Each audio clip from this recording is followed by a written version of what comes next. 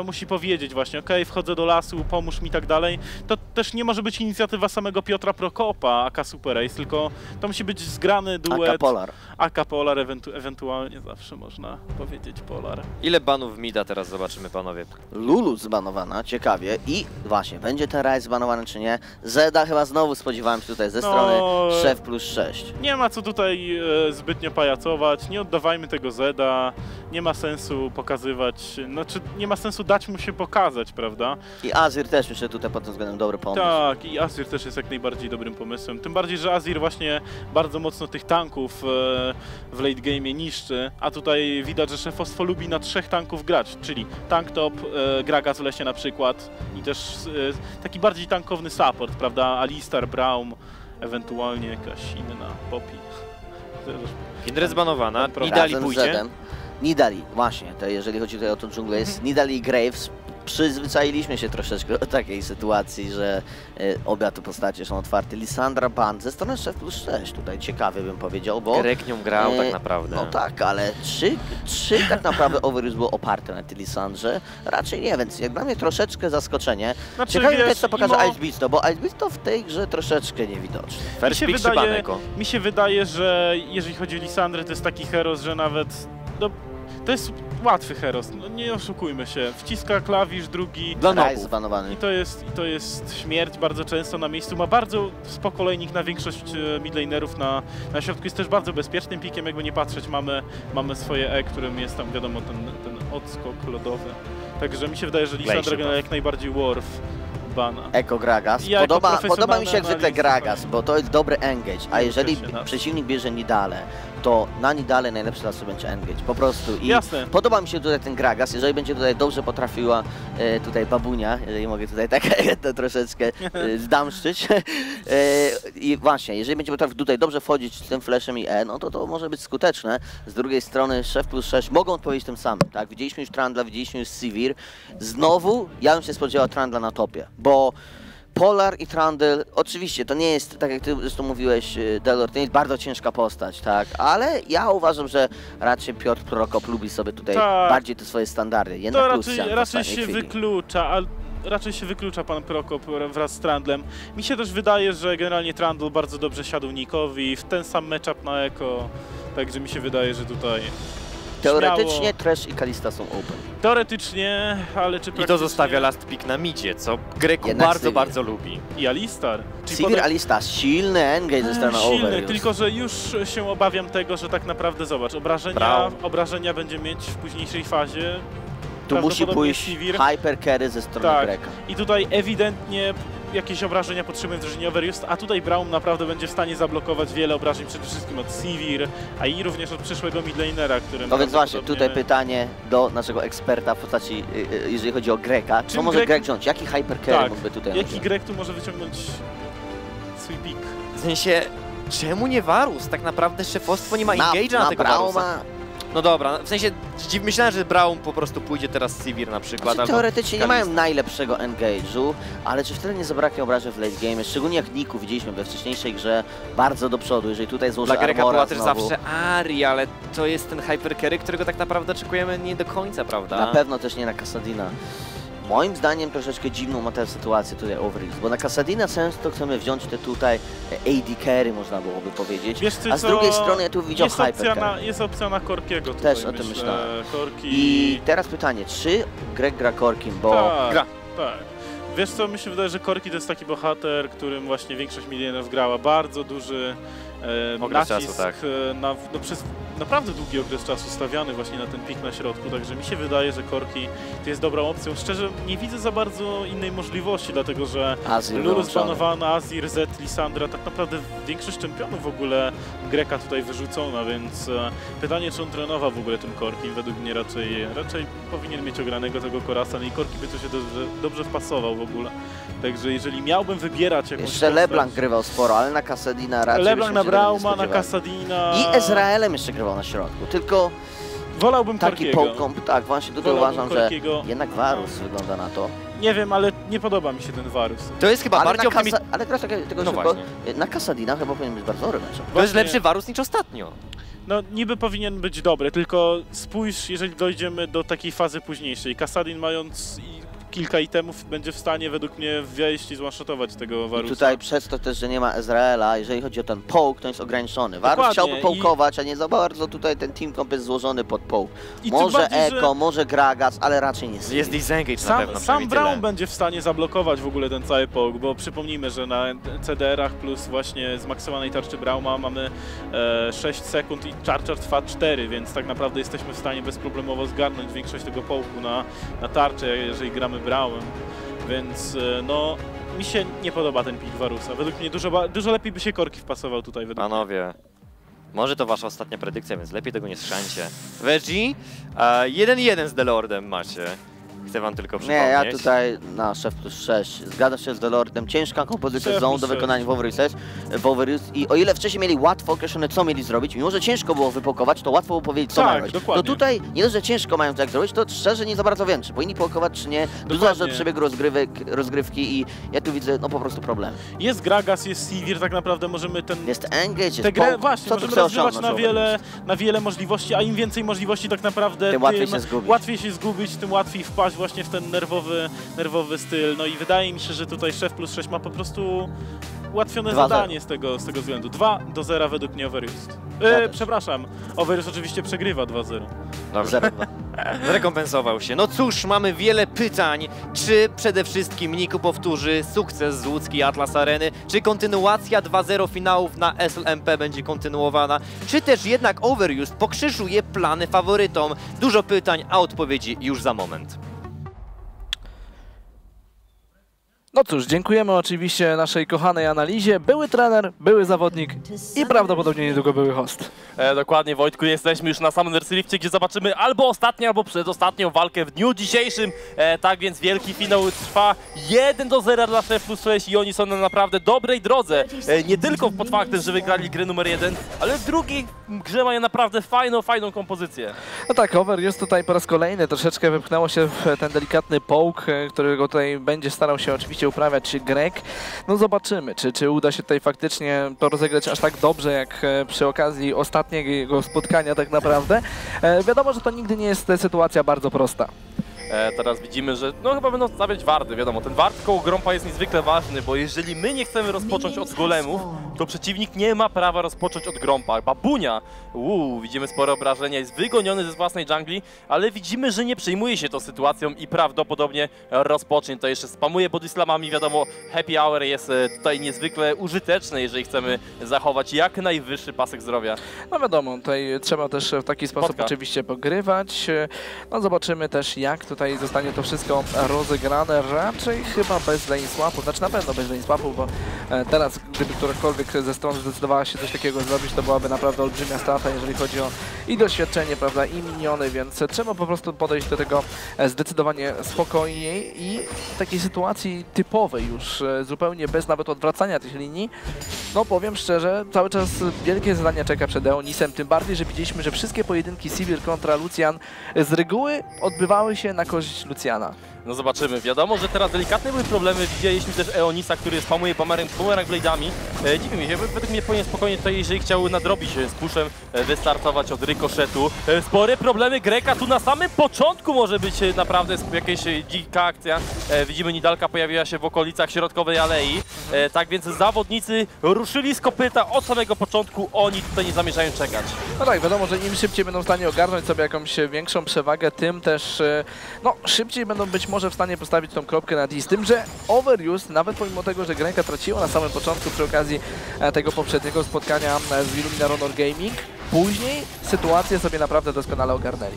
No zobaczymy jak e, tutaj gra się potoczy dalej. W drugiej poziomie już to na bocie, tak więc i Eonis i Jack Troll będą sobie radzili zdecydowanie lepiej.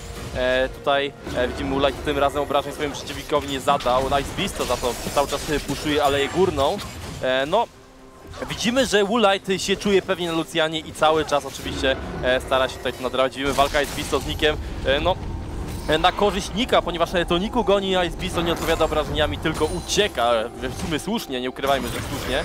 E, tak więc y, tutaj cały czas ten zawodnik będzie musiał mieć delikatne problemy, będzie musiał wrócić się do bazy, co ciekawe. E, no i jestem ciekaw, czy użyje teleporta, czy wróci nam pieszo na linię. To mi się nie podoba troszeczkę, że Ujejku, faktycznie! Overused nie zdecydował się zagrać zupełnie inaczej. No zobaczmy, Ice Beast to mógł znaleźć się w sporych tarapatach. Ostatecznie jednak na szczęście dla niego udało się e, sytuację delikatnie opanować, ale dlaczego po raz kolejny idą w to samo zawodnicy Overused, wiedząc e, jak doskonale poradził sobie Niku przeciwko temu Ekko, prawda? E, Wystarczyło tylko troszeczkę tutaj być może ten jeden ban poświęcić, być może pozostawić na przykład tą Lulu. A tym razem bany mieli, tak więc y, tutaj już nie ma żadnego wytłumaczenia. Tak. Ale chociaż nie ukrywam, w grze numer jeden oni wygrali czy Champion Select, mimo tego, że oni banami nie dysponowali, ale to jest skutek tego, że oni byli w zespole niebieskim, bo z reguły tak dwa czempiony, które są naprawdę silne, przechodzą przez y, pick and ban face, znaczy ban face, a, a tutaj zawodnicy, e, wiadomo, trzy bany jeszcze zostały, jakby to powiedzieć, y, zniesione, tak więc y, tutaj e, to wyglądało jak wyglądało, szczególnie, że byli w zespole niebieskim. Teraz są w zespole czerwonym i e, no, co prawda Eonis y, nie traci zbyt dużo farmie i prawdopodobnie będzie w stanie nawet tutaj e, wybić dokładnie takie same creepy, jakie aktualnie ma Woolite, ale mają naprawdę spore problemy z tym utrzymaniem się. E, Zobaczmy. Podejście teraz to może być delikatny błąd. Jack Troll jednak został naprawdę dobrze zatrzymany i Babunia, który tym natarciem starał się gdzieś e, no, troszkę przynajmniej tego crowd controlu zadać przeciwnikom, musiał obejść się smakiem. Greg za kilka sekund oczywiście wykorzysta swój teleport, ale no, to nie jest nigdy dobra sytuacja, kiedy Kasadin jest w stanie cię praktycznie zjeść przed szóstym poziomem. E, dokładnie, to jest naprawdę kłopotliwe i e, no widzimy, że Selfie sobie radzi na tym czempionie wyśmienicie. E, tego nie można oczywiście powiedzieć o Ice Beastu na topie, który ma od samego początku naprawdę spore problemy i nie ma teleportu, tak więc e, każde jego cofnięcie będzie się wiązało z tym, że przewaga Trandla będzie jeszcze większa. E, ale zobaczmy po raz kolejny nieudane wejście Jack Trolla. E, No i po raz kolejny raczej gang e, będzie całkowicie nieudany, chociaż e, widzimy, że Babunia tutaj pozostaje, co ciekawe. Syncroft też jest tutaj w okolicy i Jack Troll prawdopodobnie będzie trupem. No nie ma tutaj dwa razy to że już Syncroft- jest wyczerpanie. Pierwsza klep przelana przez Woolite, a teraz Babunia też utrzymany w miejscu. Concussive Blows udało się oczywiście tutaj odpowiednio wykorzystać. Flash zagrany. Woolite nie jest zawodnikiem, który zwykł z takich sytuacji nie korzystać. Jest zabójstwo, jest szansa, nawet pod wieżę, jeżeli trzeba, ale flash będzie wykonany. E, tak więc naprawdę sporo ugrali te zawodnicy 6 plus 6 i cały czas oczywiście e, możemy wierzyć ekspertom, że to jest ta gra, którą oni zakończą swoim zwycięstwem, ale zobaczmy Stealthy już z poziomem szóstym. E, nie można tego samego powiedzieć o Greku, który stracił sporo creepów e, poprzez swój powrót z, z buta e, do wieży. E, No nie ukrywajmy, że mógł tutaj użyć teleport, ale zobaczmy, oni teraz jest zdejmowany, ale to może być duży błąd tych zawodników. E, Kto zostanie tutaj zabity? Woolite być może! Tak też się dzieje! tak.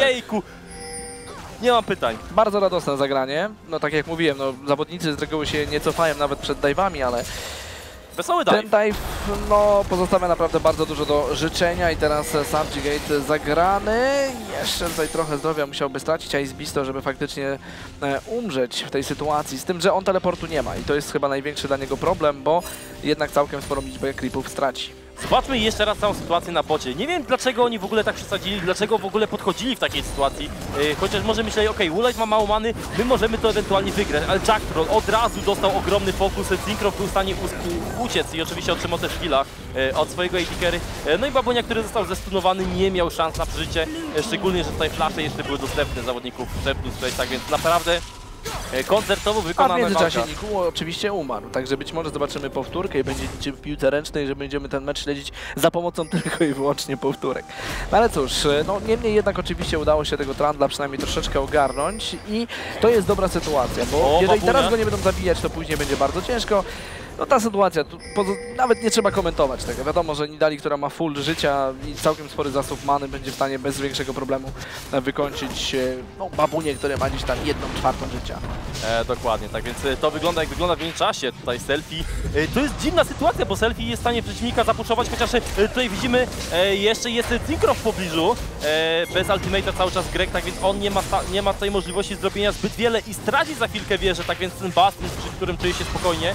E, no jeżeli dojdzie do takiego resetowania linii, czyli linia wróci na sam środek, kiedy tej wieży nie będzie, oj Greg nie będzie w stanie farmić tylko za pomocą swoich e, piercing arrowów.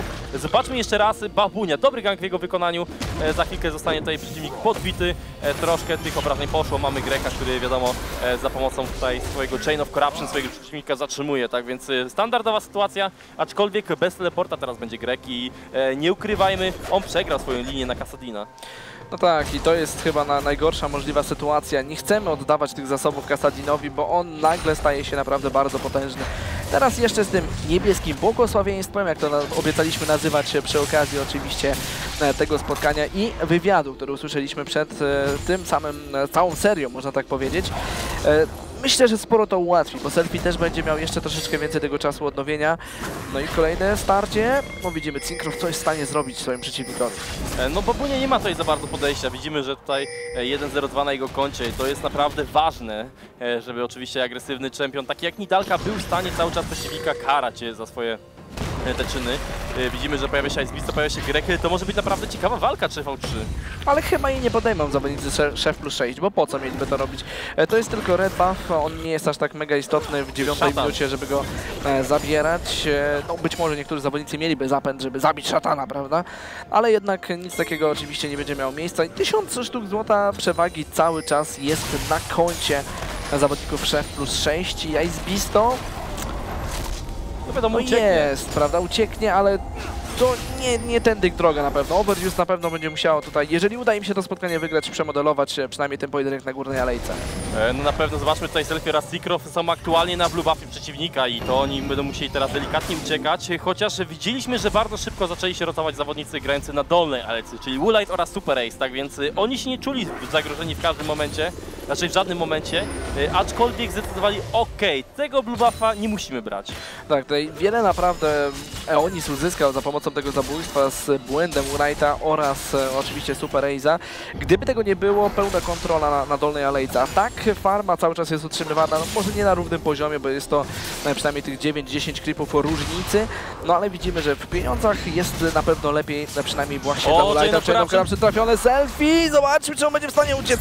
Przede wszystkim, czy kolejny Chain of Corruption, e, przepraszam, oczywiście Piercing Arrow trafi, musi się wycofywać Greg, pojawia nam się Niku, pojawia nam się Beasto, ale w tej sytuacji jest również Cinkrow i będzie czyszczenie oczywiście tej walki.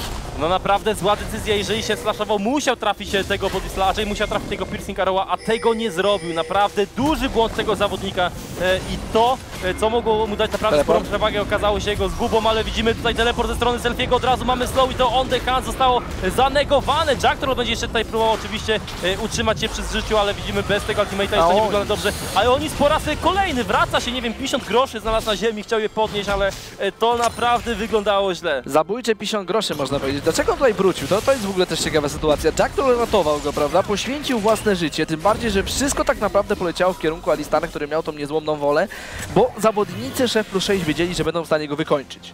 Także to było mnóstwo czasu dla Onisa, całe, całe życie miał na to, żeby uciec po prostu e, z tej akcji. Pozostał jednak, no i oczywiście, no być może tutaj nie lubią samotnie ginąć zawodnicy. Ale naprawdę, Overused. Ale naprawdę fajnie rozegrał to selfie. Widzieliśmy, że e, uciekł z sytuacji, w której powinien być zabity. To nie ukrywajmy, w tej sytuacji on powinien być zabity i w tą sytuację widzimy w tym momencie na ekranie. E, Sporo obrażenia, Chain of Corruption zagrane. No ale Greg po pierwsze mało many, e, po drugie teraz opiera się tylko na autoatakach.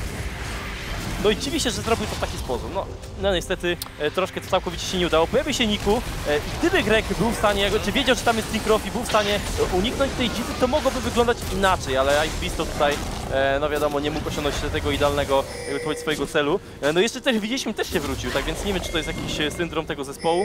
Mieliśmy syndrom Kubyda, czy będzie syndrom Overused? Być może oczywiście tutaj jakaś taka lekka choroba zawodników, którzy jednak gdzieś tam za każdym razem starają się odwrócić i jednak gdzieś tam jeszcze trochę tych obrażeń zadać przeciwnikom. To oczywiście nie zawsze tutaj jest e, robione skutecznie. Przede wszystkim to combo. Jeżeli Grek już chciał flashować, to najpierw powinien być piercing arrow naładowany, prawda? I to, to miałoby rację bytu, to miałoby szansę na powodzenie. A tak z tym autoatakiem wyszło średnio.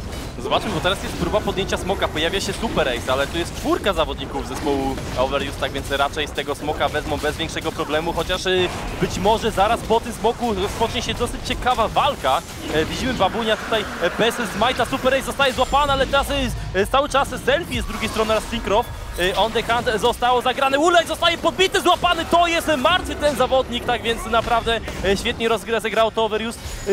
Szczególnie ten Snowka na który nie trafił, to było niezwykle ważne w tej sytuacji. Tak, ale trzeba też przyznać, że 6 walka. plus 6 tak zdecydowanie niepotrzebnie się rozdzielało. Wiadomo, że czasami takie kleszcze są grane skutecznie, ale tutaj nie miało to, to prawa wyjść i zostało też bardzo szybko ukarane. Teraz jeszcze gdzieś tam stara się Greku trafić swojego przeciwnika, żeby Cinkrow nie mógł w żaden sposób no, też wyrządzić krzywdy jego kolegom. Nie udało się, ale wieża została zabrana i to liczy się chyba najbardziej, no bo wiadomo, że e, stan posiadania tutaj z jednej i z drugiej strony jest obecnie całkowicie wyrównany. Mimo wszystko przewaga bardzo duża, jeżeli chodzi o szef plus 6. No zobaczmy, Super Ace zostaje złapany, prawdopodobnie zginie, chociaż e, bardzo dobry ultimate e, zatrzymuje dwójkę przeciwników. e, e, Tak więc e, w tej sytuacji Szef 6 no może stracić wieżę na midzie i to jest naprawdę spory terror e, w tym momencie, ponieważ już teraz e, zawodnicy Szef 6 kon- starali się kontrolować dżunglę przeciwnika, a teraz e, z tą drugą wieżą zniszczoną na midzie e, to będzie jeszcze łatwiejsze i nie będzie tego bastionu, w którym Greg będzie mógł sobie stać spokojnie farmić, nawet za pomocą swoich arrowów. No tak, to jest właśnie chyba najgorsze, co może być. Pikujesz e, Warusa, który jest taką postacią, która dość dobrze kontroluje to linię, prawda? Tracisz wieżę. Tak, i tracisz dwie wieże, no to... Fantazyjne oczywiście tutaj e, zagranie, no ale wiadomo, Szef plus 6 e, też e, po tym pierwszym zwycięstwie teraz myślę, że ma zdecydowanie więcej, przede wszystkim oczywiście tego komfortu, prawda, pewności siebie i oni po prostu bardzo szybko chcą tą grę wygrać i trzeba przyznać, że na razie robią wszystko, żeby tak właśnie się stało. Prawie, że 5000 sztuk złota różnicy pomiędzy tymi dwoma zespołami, no troszkę mniej, ale wiadomo, że niedługo ta sytuacja może być, no, oczywiście w tym rejonie, także wydaje mi się, że na pewno Overuse musi się uspokoić, ale musi też znaleźć jakiś sposób na to, żeby te pieniądze zacząć szybko odrabiać. E, dokładnie, tak więc to uspokojenie jednak e, nie może tutaj być. To musi być dzika gra, ale skuteczna, no, tak więc e, co, się, co jest rzadkie, tak więc e, tutaj nie wiem, czy zawodnicy Overuse sobie z taką presją poradzą. E, aktualnie widzimy Super Raze'a, który głęboko wchodzi w dżunglę przeciwnika, sam tam postawione wardy, widzimy po raz kolejny Dekalik, który tutaj sobie idealnie radzi, mamy teleport ze strony Greka, ale czy Ulej zostaje złapany? Naprawdę dzika sytuacja, e, może być to naprawdę problem ogromny, pojawia się Ice Beast, to pojawia się Woolite, a czy pojawia się Nick, tak więc to wygląda dosyć ciekawie. Eonis może zostać za chwilkę zabity przez Selfiego i tak też się dzieje. E, Czy będzie jakakolwiek większa odpowiedź? Czy Mamy zabitego też e, Woolite'a. E, Niku zatrzymany. Bez many, także tutaj ciężko będzie w jakikolwiek sposób uciec i tylko selfie ewentualnie może się z tej sytuacji dość szybko ewakuować. Wiadomo, Riftwalk, prawda? Prawdopodobnie Flash e, też gdzieś tam, nie, on został wcześniej wykorzystany. Trwa gonitwa, ale oczywiście co robi Cinkrow? Split puszuje tą górną alejkę i prawdopodobnie będzie w stanie ją e, zabrać, choć no selfie nie jest zbyt przyjacielski, prawda? Przyciągnął tutaj przeciwników ten rejon. E, dokładnie pytanie, czy będą tu jakieś konsekwencje. Nietrafiony body slam e, i tutaj zbyt wieloma spelami oczywiście Babunia już nie dysponuje, żeby przeciwników zatrzymać. Szczególnie e, nie ma erki, nie ma tej beczki wybuchającej, która wiadomo e, jest w stanie tutaj przeciwnika wbić e, w swoim kierunku. E, I widzimy, Cinkrow decyduje się na rozpoczęcie Heralda, tak więc ten zawodnik, no, stara się grać jak najlepiej. Widzimy, on jest, jego jest pełno na mapie. Jest pełno, ale zarazem nie jest praktycznie w tych walkach, prawda? Przynajmniej ostatnich nie uczestniczy, ale to też O, pozwala do- właśnie na, skuteczną oczywiście grę, tak, jest ta beczka cały czas, zobaczmy, nie, jednak tutaj nie będzie decydował się na żaden body slam przez ścianę, to po prostu byłoby zbyt ryzykowne i tak naprawdę chyba nieopłacalne, no bo wiadomo, że ten Herald Rift aż tak wiele nie będzie w stanie tutaj dać zawodnikom 6 plus 6, bo nie ma też wież do puszowania. E, dokładnie, tak więc no... Ale lepiej go mieć niż nie mieć, a wiadomo, Dokładnie.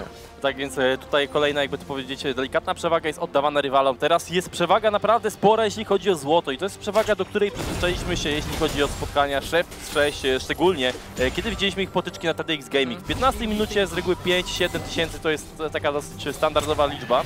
E, No ale zobaczymy, czy Overuse jeszcze będzie w stanie tutaj do tego wrócić.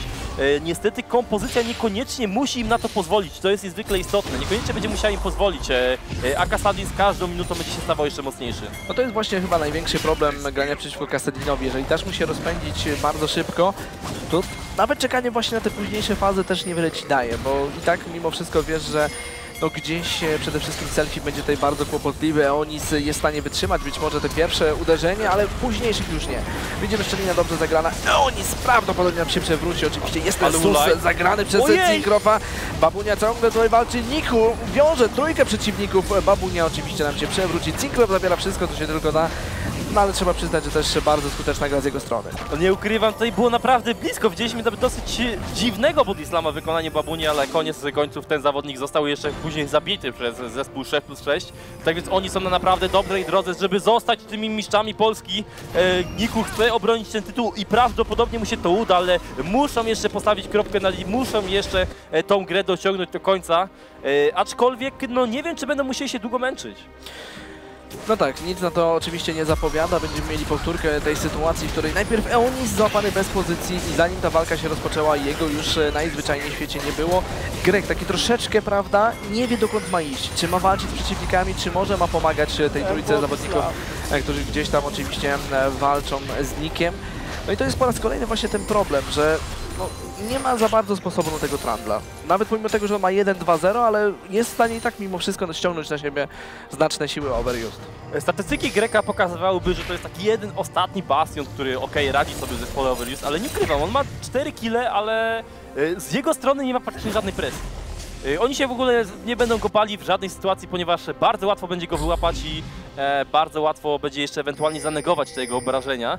E, tak więc y, tutaj naprawdę ciężkie zadanie przed zespołem Overuse, żeby wrócić do tej serii, e, żeby jeszcze mieć jakiekolwiek szanse na, o, na, tutaj na walkę o ten tytuł, wiadomo. I też e, slot do Challenger Series Selfie, delikatnie obity, e, no ale jednak e, zbyt mało tych obrażeń jest, żeby faktycznie Selfie mógł się przejąć. No wiadomo, że Grek owszem, no gdzieś tam stanowić o sile swojego zespołu może patrząc z perspektywy tego złota, które gdzieś posiada. No ale tak, kwestia tego, czy, czy uda się faktycznie dobrze tutaj no, to wszystko rozegrać. Walka rozgorzeje, jest teleport zagrywany, zobaczymy Jacktroll już z niezłomną wolą stara się tankować te obrażenia. Niku cały czas Selfie jest w środku walki. Selfie stwierdził jednak, że to chyba nie jest najlepsze miejsce. Teraz dopiero powraca do tej walki, jest natarcie wykorzystane e, w celach e, no, defensywnych bardzo.